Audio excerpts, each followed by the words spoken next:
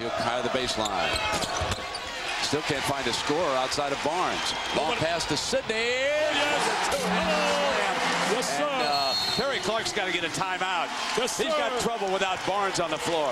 Well, nobody rotated back. Nobody got back defensively in transition. Salmons penetrated, and when he penetrated, no one rotated from the backside to give him any defensive balance. There's the jump shot by Salmons. Now take a look. Nobody rotates back. Bell says, I give it to my teammate, and it's up, up, and away. It's Dipsy Doo, Dunkaroo, Mr. Salmons will try the three, and it's still not there. And Sidney again. Game's leading rebounder. Up What the nice floor to pass. Hacks. Oh, that's like Brady, man, throwing pigskin late in the game to get the Patriots to the winning. That was Troy. Brown on the receiving end Yes, that time. And uh, Whoa. Troy Bell.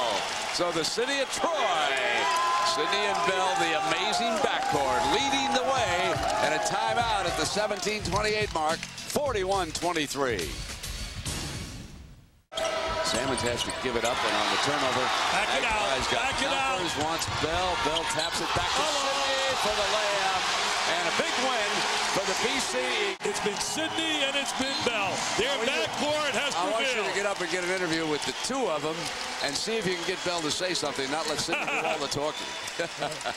I tell you, they've been sensational today. They've been awesome, baby, with a capital A. Yes, show that. Show it. Get it up there. They've been amazing. ABC, the amazing backcourt today in Chestnut Hill. And oh, did they need a W, baby.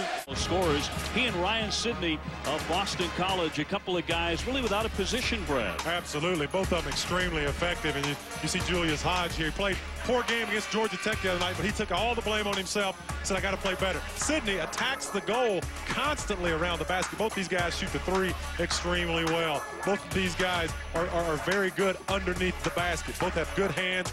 And, and, and Hodge is strong despite his slight build. Obviously, Sidney's strong. And they're playmakers for these basketball teams. And uh, as they go, these teams will go. Both listed as guards and forwards in Sidney's case last year with a shot clock at eight. They do get it inside. Sidney banks it in with a quick move. So strong, 6'2", 205 pounds, catches the ball, nice shot off the glass. Look at that, look at Sidney, 6'2", on the block. He takes a much bigger 6'6", Hodge and just takes him to the front of the ring. three-point distance. Nice pass. Smith there. Got it. Very good recognition by, by, by, by Sidney there. Smith made a nice step in. A chance. See, by him stepping in, it gave that, his teammate a chance to rebound. There's Sidney, little big man. Boy, he does play big, doesn't he? 6'2", 200. How about Ryan Sidney? Watch him return this one. And look where he's at, around that basket, nose to the basket, good foul. Good foul drawing opportunity. He draws it, goes to the free throw line. 15 points for Sidney. He's already topped his average. high school basketball player, McDonald's All-American, and now he's getting some serious playing time. And there's that man again, Ryan Sidney. He keeps finding a way into the... For the He open said, tip. Troy, me lad, I am going to have the BMW ultimate drive of the game. Not once, but maybe a couple times. Yeah, let's do that. was fun. Let's do it again. Were you good at that good at reading lips when you were coaching? Yeah, very good. You have trouble keeping up with Ryan Sidney, number five, the six-three Mercurical. He is absolutely grease lightning, Mr. Energy. He's third in scoring, second in rebounding, and first in assists. And most of all, he is exciting. With the great touch pass there to teammate Troy Bell. When he has all three of those games going together, he's scary. Just complement each other well. They, they really don't get in each other's way. They play very differently. And uh, one obviously has the ball, and another one doesn't need it in order to be successful. So, so I'm not, I'm not, I don't know if they are the best backcourt, but I do know they complement each other extremely well, and that allows them to be very successful. Yeah, it is interesting when you. Now take a look at the numbers. It backs up everything that Al Skinner said. I mean, uh, Sidney, what's impressive, that bottom number, 10 rebounds a game. That's that's Oscar Robertson type average there, 20 points, 10 rebounds.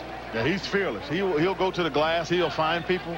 He is a fear. Nice, simple little delivery. Watch, he gets the rebound, throws it up there where Sidney doesn't have to break stride, and Sidney does the rest. But if that ball's not delivered right where it is, Sidney loses that split second. Watch the little touch like a quarterback. Lay it out there right for the receiver, and that gives him the angle to the goal. And the layup, a simple little thing, but the great play. We are loaded here with talent, happy guys. Now, this guy, Smith, he's a freshman. What did you tell him about playing Connecticut, Troy? I didn't tell him too much, man. Craig's a, Craig's definitely a player, best freshman in the country. I had to tell him too much. And that's from Troy Bell, the uh, defending Big East Player of the Year. There was a guy named Okafor on the floor today. Did you see or hear of him? huh? I mean, I, I seen him, but you know, I don't know what happened. You know, we just we just shut him down. Ryan Sidney, you always have a comment, and if you ever can be eloquent with the scoreboard 95 BC 71 UConn, today's the day. Oh yeah, um, happy, happy, extremely happy. We played great defense. We played together as a team, and that's all we could do. You know, everybody came out and contributed on all ends of the floor, and I think that's what made our team that much better today. Well, they say uh, eagles don't flock. They uh, have to find them one at a time. I got three here that were super today. Bob?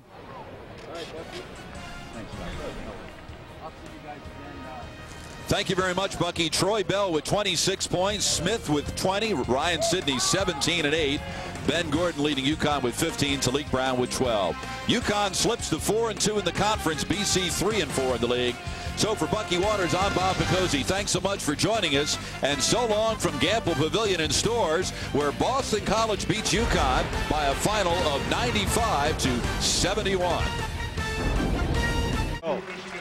So we're at halftime. Boston College over Michigan 42-38. Tim Brando, Spencer Tillman will be along with Cingular at the half right after this message. And a word from your Ryan Sidney in this ball game. He's doing everything. Driving to the goal. This one was a basket plus the foul. He's got 14 points. Going to show you his ability to get there with the left hand. Sweeping layup. He's also got five rebounds and two assists. And his motor is constantly running. There you see his numbers. Well, we talked to him last night along with it. Talking to Coach Al Skinner and Troy Bell and Ryan Sidney. They want to prove as that bucket finds and add a three-pointer. They want to prove that the 27 wins was not a fluke a year ago. So we're at halftime. Boston College over Michigan 42-38. Tim Brando, Spencer Tillman will be along with Cingular at the half right after this message. And a word from your local station. Ripping it up for 17 in the first half. Well, he's showing us everything in his package, and he's got a bunch. This kid is terrific. One of the outstanding guards I've seen this season in college basketball. It's early. There's Troy Bell, though, his partner, who's not too bad himself. But Ryan Sidney, that's a three-pointer at the end of the first half to give Boston College that four-point lead. But you look at these numbers here. What you've got to look at, the turnovers right there, and then also the offensive rebounds. We've got rebound totals, but Boston College has nine offensive rebounds. Because of that, Craig, they've gotten 11 more shot attempts, and that's why they're on top. And they've scored off those nine offensive rebounds. Play together as Sidney trans transferred in from Huron High School as LaVell Blanchard was graduating. But both have had a key role in today's game thus far. Sidney has been everywhere and star on the offensive glass. Bodies on the deck, no whistle. Boy, they're crashing the boards, and Sidney comes up with another bucket, 20. The back run. Make it. You need them all. Michigan 10 of 14 as a team. They're going coast to coast. Oh, Ryan Sidney. You know, he wanted to make the statement. He was John with the, the student section before the... Here's Sidney finishing in transition. Here he is. Look at him, amped up. He can't wait. This was prior to the game as they came to the floor to get ready for this action.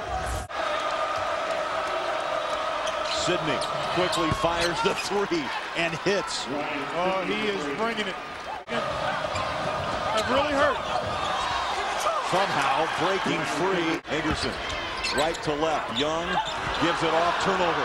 Sidney, coast to coast.